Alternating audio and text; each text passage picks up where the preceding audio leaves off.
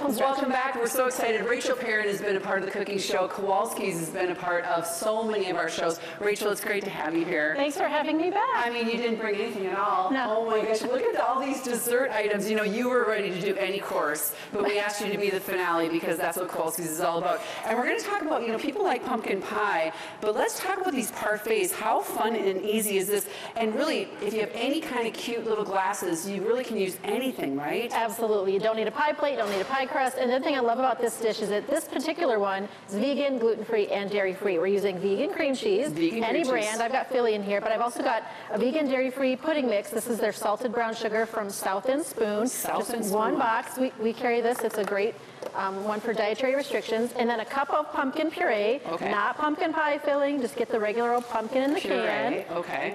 And then just one cup, it's not the whole can, be careful about that. And then you want to season it with a little bit of spice. So I've got about a teaspoon of cinnamon, a half a teaspoon of pumpkin pie spice, and a quarter teaspoon of nutmeg. The pumpkin pie spice has a little of that ginger allspice in there, so it's going to give it a nice balance of flavor. Wonderful. And then of course we're going to put in a little bit of powdered sugar, just about two tablespoons here.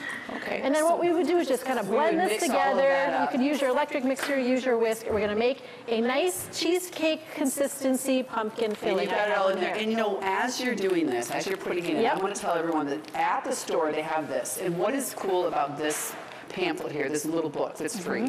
It's free. Every two months, we put out a new recipe booklet that's seasonal, that features, you know, recipes that we're happy to share. Uh, but that one's really cool because every single one in it this season, I made vegan, dairy-free, and gluten-free. So every person that comes to your, your gathering, for the most part, can take part in eating these recipes. And I Okay, think that's a really big deal. So if you have anyone at your table, you're wondering what to serve them, get this, grab it at Kowalski's. All We right. also have a non-dairy whipped topping. I've got the CocoWhip here you can find in the freezer section. There's a couple different brands of non-dairy whipped topping. You can use whatever one you like. And even if you just want to use it for your pumpkin pie, this stuff is really quite delicious. But you can layer in one layer, You know what's two great about this too is you could do this what a day and a ahead or You can make the fillings the day and ahead, and then, but I would assemble them the day of, and that's because I'm putting in a little bit of a cookie mixture. This is a gluten-free ginger snap cookie just from the grocery aisle, and this will get a little soft if it sits in the fridge for too long with the, the soft, you know, textured fillings. Okay. Oh, I you, see. So you just do, want to do this right at the end, but you could have everything ready to roll. You could have it ready to roll, and then you can top it with and this is gluten free. gluten free. Yep. Ginger snaps. Oh my gosh. Okay. And then, And then fill out your buffet with things from the pastry case. Obviously, you know, Yeah, cupcakes, cookies, Look pumpkin bars. Can we We've to got everything. So look at how pretty these end up looking. I mean, they're just, I mean,